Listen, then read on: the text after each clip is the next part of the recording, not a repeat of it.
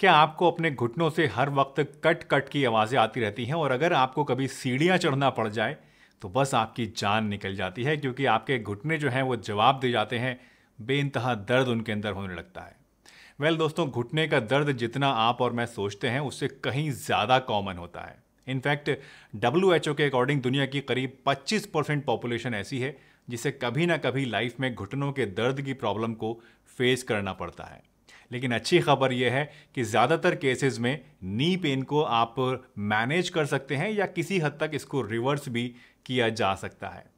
तो आज की इस वीडियो में मैं आपको दो ऐसी आयुर्वेदिक होम रेमेडीज़ के बारे में बताने वाला हूँ, जो आपके घुट्नों के दर्द से परमानेंट राहत दिलाने की ताकत भी रखती हैं और आपके इस पेन को जड़ से ठीक भी कर सकती हैं। तो चलिए बिना किसी देरी के इस इंटरेस्टिंग वीडियो को शुरू करते हैं और जानते हैं इन दोनों ही होम रेमेडीज़ के बारे में पूरी डिटेल से।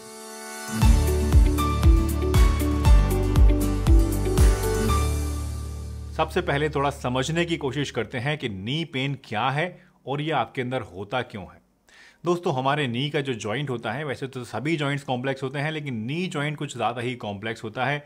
इसमें बोन्स होती हैं टेंडन्स लिगामेंट्स और बहुत सारे मसल्स के स्ट्रक्चर इन्वॉल्व होते हैं। और इसी वजह से इनमें अगर किसी भी एक चीज़ में कोई प्रॉब्लम आ जाए तो आपके नी में दर्द होना शुरू हो जाता है।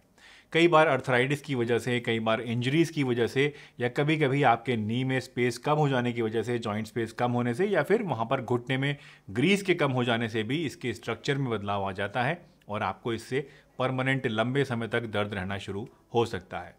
वैसे जब भी किसी इंसान को नी पेन होता है तो सबसे पहली चीज़ जो हम लेना शुरू करते हैं, वो है पेन किलर्स।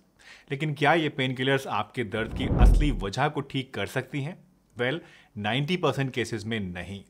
ये पेन किलर्स आपको वक्ती तौर पे आराम तो पहुँचा देती हैं, लेकिन इनको ज़्यादा लेने से जो नुकसान होते हैं, वो एक अलग ही टॉपिक है, और आई थिंक आप सब लोग इसके बारे में जानते भी होंगे। दोस्तों पेन किलर्स को कभी कभार लेने के खिलाफ मैं नहीं हूँ, इसको आप ले सकते हैं, लेकिन लगातार इसको बहुत सारे दिनों तक लेने से चार पाँच दिन से ज़्यादा या हफ़्ते दस दिन से ज़्यादा लेने से आपके अंदर नुकसान भी हो सकता है, आपके लीवर को और आपके किडनीज़ को ये डैमेज भी कर सकती हैं। इसलिए अपने घुटनों के दर्द की जड़ को ठीक करने के लिए आपको हमेशा नेचुरल रेमेडीज़ को अपनाना चाहिए।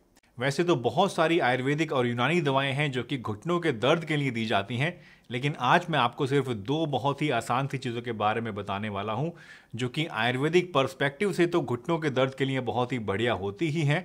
ये पूरी तरह से साइंस बैक्ड भी हैं। चलिए बात करते हैं अपनी उन दो होम रेमेडीज़ की, जो कि आपके जोड़ों और घुटनों के दर्द के दिए हमने आज आपको बतानी है।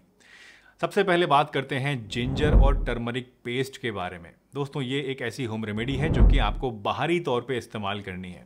वैसे आप थोड़े से कंफ्यूज हो रहे होंगे क्योंकि अक्सर मैं आपको जिंजर और टर्मरिक, यानी अदरक और हल्दी जो है ये खाने के लिए बताया करता हूँ, लेकिन आज मैं आपको लगाने के लिए बता रहा हूँ।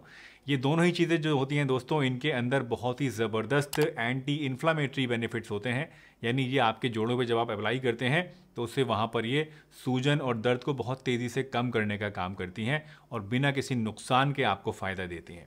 इस रेमेडी को बनाने के लिए आपको क्या करना है? आपको दो टेबल स्पून बारीक पिसा हुआ अदरक लेना है और एक टेबल स्पून आपको लेनी है पिसी हुई हल्दी। ये जो पिसी हुई हल्दी आपको लेनी है, ये आपको रेडीमेड मार्केट से नहीं लेनी है, बल्कि आपको साबुत हल्दी बाज़ार से लेके घर पे ही उसका पाउडर बारीक बनाना है। और उसी को इसमें इस्तेमाल करना है, तभी आपको सही मायनों में इसके जो बेनिफिट्स हैं वो देखने को मिलेंगे, क्योंकि मार्केट में जो पाउडर मिलता है हल्दी का, वो अक्सर मिलावटी होता है। तो इस नुस्खे को बनाने के लिए आपको इन दोनों चीज़ों को आपस में मिला लेना है और फिर इसमें आपको थोड़ा सा पानी डाल के इसका एक पेस्ट जैसा थिक सा बना लेना है और इस पेस्ट को आपको रोज़ाना अपने दोनों घुटनों के ऊपर लेप करना है और लेप करने के बाद करीब आधा से एक घंटे के लिए आपको इसको छोड़ देना है और इस दौरान इस लेप के ऊपर आपको कोई सूती कपड़ा भी बाँध के रखना है। आधा एक घंटे बाद लगे रहने दीजिए और उसके बाद इसको आप गर्म पानी से धो लीजिए और फिर आप देखिए कि कितनी जल्दी जल्दी आपके जो घुटने हैं, उनके अंदर से सूजन और दर्द कम होने लगता है।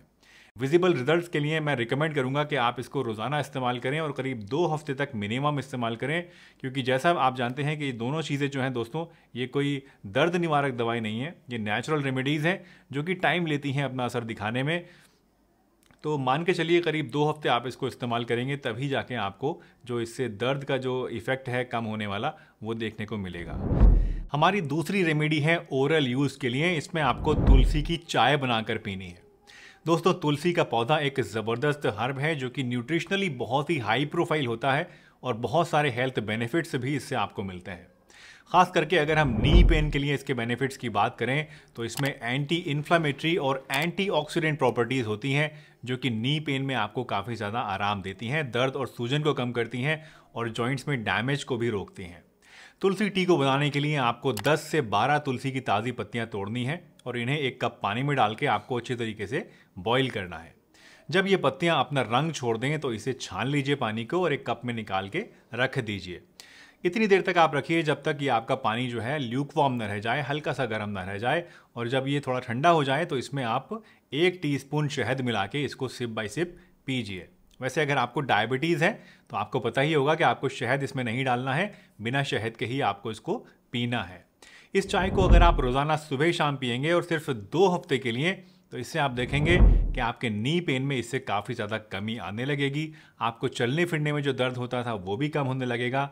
आप धीरे धीरे सीढ़ियाँ भी चढ़ पाएँगे और आपके जोड़ों के अंदर सूजन और जो हीट पे जो निकलती है, लाली सी रहती है, हर टाइम ऐसा लगता है जैसे जोड़ों में से आग सी निकल रही है, ये सभी प्रॉब्लम्स आपके धीरे धीरे कम होने लगेंगी। दोस्तों, ये दोनों रेमेडीज़ जो आज मैंने आपको बताई हैं, ये बहुत ही आसानी से फॉलो की जा सकती हैं और ये नी पेन के लिए बहुत ही इफ़ेक्टिव होने के साथ साथ पूरी तरह से सेफ़ भी हैं।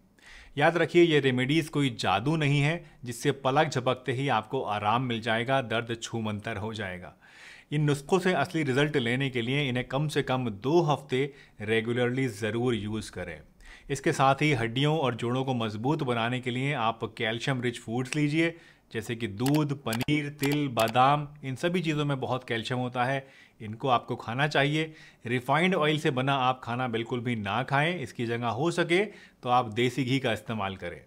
रोज़ाना कम से कम आधा घंटे धीरे धीरे वॉक ज़रूर करें या अपने डॉक्टर के हिसाब से जो भी उन्होंने एक्सरसाइज आपको सजेस्ट करी है, वो भी करते रहें। और हाँ सीढ़ियाँ बिल्कुल भी ना चढ़ें या जितना कम से कम हो सके, उतना कम से कम चढ़ें।